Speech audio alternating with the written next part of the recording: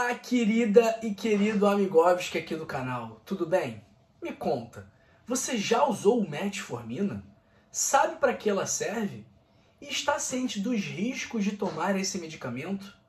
No vídeo de agora, nós vamos falar sobre a metformina. E aí, ela causa câncer? Ataca o fígado? Faz mal para a saúde? Então não saia daqui, fica até o final para descobrir o que a metformina pode fazer com o seu corpo. Antes de começarmos, deixe seu like, porque assim o YouTube distribui esse vídeo para mais pessoas. Então quando você deixa o seu like, quando você curte, quando você dá o seu joinha, outra pessoa está vendo esse vídeo, você ajuda esse vídeo a chegar a outra pessoa e essa pessoa pode se beneficiar muito dessa informação. Talvez a metformina não seja importante para você, talvez você nunca vá tomar, porém, uma outra pessoa que você nem conhece pode estar tendo alguns efeitos colaterais e não sabe do que se trata, e ela vendo esse vídeo vai entender o que está acontecendo com o corpo dela. Então deixe seu like. Também inscreva-se em nosso canal, ative o sino das notificações para ser sempre o primeiro a saber sobre as melhores informações de saúde. Compartilhe esse vídeo. Compartilhar saúde é um ato de amor. Então manda para o seu marido, para sua esposa, para o seu namorado, para os seus filhos, para os seus netos para aquela pessoa, para o seu vizinho que você sabe que tem diabetes, que você sabe que toma metformina. Compartilhar saúde é um ato de amor. E me conta, você tem diabetes? Já usou metformina? Escreve aí nos comentários, as pessoas não estão comentando. Eu quero ver o seu comentário, eu quero te conhecer melhor, eu quero falar: Oi, Fulano, Oi, Maria, Oi, Beatriz, Oi, Juliana, Oi, Raimunda. Eu quero falar com você. Fala comigo também, responde aí, pô mal educado, mal educada. e também, de que parte do Brasil ou do mundo você me assiste agora? Escreve aí nos comentários, eu quero te conhecer melhor, eu quero te responder, eu quero conversar com você. Pô, tô te dando oi, tô te dando bom dia, tô te dando boa tarde, tô te dando boa noite, você não tá me respondendo. Eu? Responde, pô. Mas vamos lá, pessoal. O que é a metformina? Ela tem origem numa planta chamada Galega officinalis que é popularmente conhecida como arruda caprária, encontrada no sul da Europa e também na Ásia Ocidental. Você sabia que a metformina vem de uma planta? Pois é, e eles descobriram isso porque viam, observaram que as pessoas que tomavam o chá ou que ingeriam alguma forma dessa planta reduziam a glicemia do seu sangue. E a metformina ela ajuda a reduzir o risco de uma pessoa pré-diabética a virar diabética. Mas quais mecanismos de ação são explorados pela metformina? Primeiro mecanismo de ação é a inibição da gliconeogênese hepática. O que é a gliconeogênese hepática? O nosso fígado ele estoca quantidades de glicogênio, assim como os nossos músculos. O glicogênio, de certa forma, é uma reserva de energia para o nosso corpo. Então, quando o nosso corpo entende que está precisando de mais glicose, de mais energia, ele acaba ativando a gliconeogênese hepática, ok? Então, aquele glicogênio que está estocado no fígado, ele é quebrado, transformado em glicose e distribuído para o nosso organismo com o intuito de aumentar o aporte de energia para o nosso corpo. Então, inibindo a liberação de glicose, simplificando, estou muito simplificando muito aqui. Então, inibindo a liberação de glicose do fígado, há também uma redução da glicemia, a redução do açúcar no seu sangue. Além dessa inibição da gliconeogênese hepática, a metformina também reduz a absorção de glicose pelo intestino, aumenta a sensibilidade à insulina nos tecidos muscular e adiposo, ou seja, as nossas células passam a ser mais capazes de puxar a glicose, o açúcar do sangue para dentro dela. E a metformina também melhora indiretamente a resposta das células beta-pancreáticas à glicose. E, obviamente, algumas doenças aumentam os riscos de efeitos adversos da medicação. Por exemplo, doença hepática, doença renal, insuficiência cardíaca, infarto recente então, a pessoa que ela é mais debilitada já de base, ela tem maior risco sim de sofrer efeitos adversos das medicações como um todo. E que efeitos adversos são esses? náuseas, vômitos, diarreia, gosto metálico na boca, hipoglicemia, que é o baixo açúcar no sangue, acidose lática e deficiência de vitamina B12. Mas quais são os benefícios da metformina? Ela controla os níveis de açúcar no sangue, especialmente após as refeições, o que é importante para os diabéticos.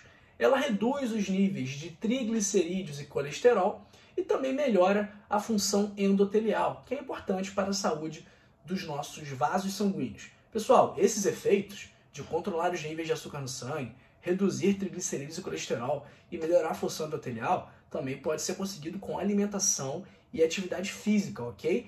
Então existem vários estudos, por exemplo, que comparam uma dieta saudável com a metformina e também com a atividade física. E a gente vê que geralmente a melhor combinação, melhor até do que a metformina, é você combinar alimentação saudável com atividade física. Você combinando alimentação saudável com atividade física, provavelmente você não vai precisar de metformina para controlar o açúcar no seu sangue, ok? Mas qual é a relação da metformina com o câncer? Alguns estudos mostram benefícios da metformina para reduzir os riscos de diversos tipos de câncer. Mas será que isso não é porque a glicemia, porque o açúcar do sangue acaba sendo controlado? E uma vez a pessoa com a glicemia controlada, ela tem um corpo menos inflamado, e uma vez um corpo menos inflamado, isso diminui o risco de câncer? Eu acredito que seja por conta disso. Então, eu penso que é mais provável que esse efeito protetor da metformina contra o câncer seja mais por conta da redução da glicemia, do controle glicêmico e não por algum efeito que a droga faz especificamente em células cancerígenas. Essa é a minha opinião. Mas e aí, também muita gente fala que a metformina tem ação anti-envelhecimento, essa notícia rodou o mundo, vários famosos tomam a metformina com esse intuito, e a teoria é a redução da atividade mitocondrial, mas a gente não tem muitos estudos conclusivos ainda sobre esse tema, então ainda é nebuloso, meio sombrio. Então não dá para falar que a metformina previne e melhora o envelhecimento com base na teoria da redução da atividade mitocondrial. E a metformina também tem outras funções, outras utilidades. Por exemplo, ela tem um possível efeito positivo na flora bacteriana intestinal, melhora a perda de peso, também deve ter relação isso aí com o controle glicêmico. Ela também ajuda a regular a menstruação e também ajuda a melhorar a resistência insulínica na SOP, na síndrome dos ovários policísticos, algo que também tem ligação direta com os índices de açúcar no sangue. Então, pessoal, por mais que a metformina possa sim ter benefícios, não tome por conta própria. Eu já vi sendo prescrita para outros motivos que não o diabetes. Porém, nada, preste atenção, nada substitui o estilo de vida saudável. Como eu falei agora há pouco, estudos comparando para o controle glicêmico, metformina, alimentação saudável, atividade física. Eu posso te garantir que o estilo de vida sempre será superior a medicação, desde que o estilo de vida possa tratar esse problema. Ah, o que é melhor para uma infecção urinária? O estilo de vida não vai ajudar muito a tratar a infecção urinária. Então, para tratamento da infecção urinária, provavelmente o mais adequado é o antibiótico. Agora, para doenças diretamente relacionadas ao estilo de vida, como diabetes, como resistência insulínica, como pré-diabetes, o estilo de vida sempre será superior à medicação. E tem um outro ponto positivo também, que o estilo de vida saudável não tem efeitos colaterais, não tem efeitos adversos, não vai te dar náusea, não vai te dar vômito, não vai te dar diarreia. Estilo de vida saudável não tem contraindicação. É muito importante, por isso que eu sempre faço convite para você ler o meu livro Código da Longevidade. O link está lá na descrição. Então clica agora no link da descrição e compre o seu código da longevidade. É barato.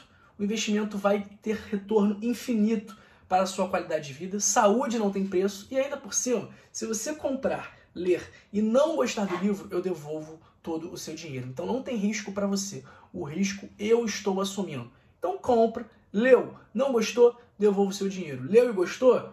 Cara, sua vida vai melhorar muito eu te garanto.